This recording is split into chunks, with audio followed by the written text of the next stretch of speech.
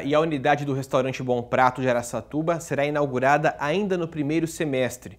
O prazo, o prazo foi anunciado hoje pelo secretário de Desenvolvimento Social, Floriano Pesaro.